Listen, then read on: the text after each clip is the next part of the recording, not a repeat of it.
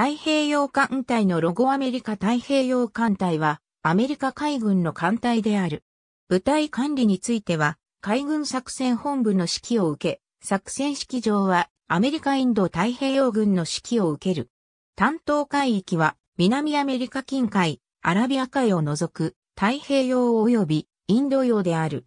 アメリカ太平洋艦隊は第3艦隊と第7艦隊から構成されている。最初の太平洋艦隊は1907年に創設され、1922年に合衆国艦隊に統合され、廃止された。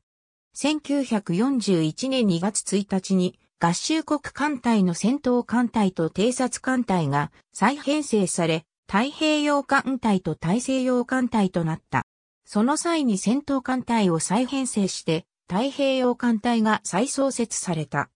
現在は第二次世界大戦後に創設された統合軍の一つであるアメリカ太平洋軍の作戦指揮下にある。司令部は再創設以来ハワイ州オアフ島のパールハーバー、ヒッコム統合基地に置かれている。兵力は艦艇約200隻、航空機約2000機を保有し、人員規模は海兵隊を合わせて23万9000人を超える。太平洋艦隊司令官は対象ポストである。